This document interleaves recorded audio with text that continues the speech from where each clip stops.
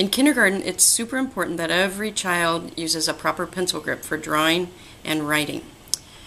What we'd like you to help your child with every day, please practice this, is to make a pencil grip this way. First, step one, make a fist with all fingers rolled in. Step two, hold out just three fingers. One, two, three. The other two fingers are still tucked in. Touch these two fingers. This is called a tripod grip because tri means three, but we also call it a raindrop because it should make a nice raindrop shape. The special pencil we sent home today, which we want you to use for all your homework, can fit right in those three fingers. And you still have the raindrop, the pencil's in the middle of the raindrop, and you'll see that the edge of your fingers is at the edge of the paint. We don't want to be way down there, and we don't want to be way up here just at the edge of the paint. So this is a proper pencil grip.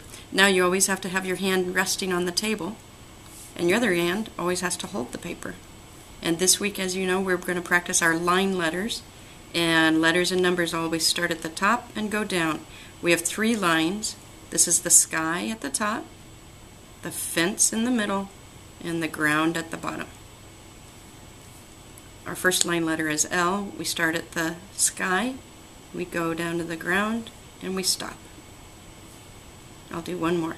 Start at the sky, go down to the ground, stop. For the letter T, we use two strokes. Start at the sky, go to the ground, stop, go to the fence, go across. Start at the sky, go down to the ground, go to the fence, stop. It's two strokes. One, two. The I, we start at the fence. Go down to the ground, stop, make a dot. Go to the fence, down to the ground, make a dot. One more. The J is tricky because it goes under the ground.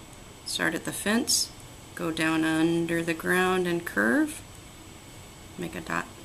Make sure your J is curving the right way too. Start at the fence, go down under the ground, curve, make a dot and make sure you have that proper pencil grip. Teardrop or a raindrop shape, hand on the on the table, other hand holding the paper. All right, good luck. Practice every day.